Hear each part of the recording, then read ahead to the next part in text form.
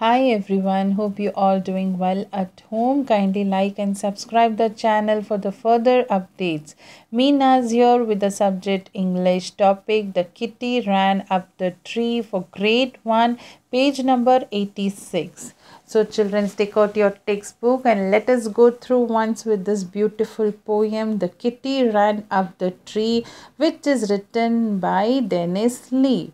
Now let me read this. The kitty ran up the tree. The kitty ran up the tree. Her nose went up and her toes went up. And the kitty ran up the tree. Why did she climb the tree?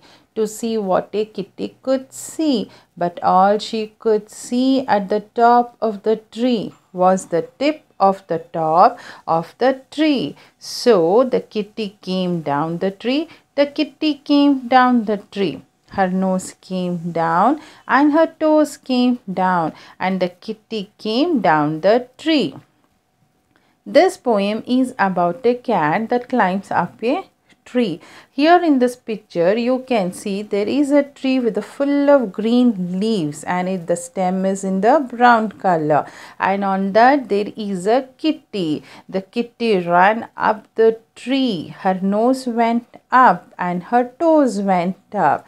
Why did she climb the tree? To see what a kitty could see. But all she could see was the tip of the top of the tree. The kitty came down the tree. Her nose came down and her toes also came down and the kitty came down the tree. The speaker tells us why the cat climbs a tree and what she sees from the top of the tree. This poem ends why the cat climbs down the tree again. Now coming back to the page number 87 understanding the poem. Tell your teacher the answer, then write them in your notebook. A. What animal in what animal is this poem about? Answer The animal in this poem is kitty.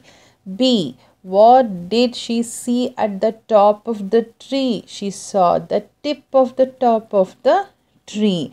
Now B. Arrange this sentence in the correct order. We have to arrange this sentence in the correct order. So first one they have given the kitty ran up the tree is the first sentence. Now let us see which is the second and nose went up. So put it to there. And the third one is and her nose came down is the third one. Fourth one they have given already. The kitty came down the tree is the fourth one. Now let us see the fifth one. Her nose came down is the fifth one. So write down fifth there. And her toes went up is the sixth one. So children complete this textbook work very neatly with the help of the pencil.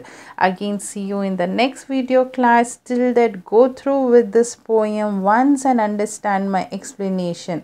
Again catch you in the next video class. Until then take care, stay safe and thank you very much.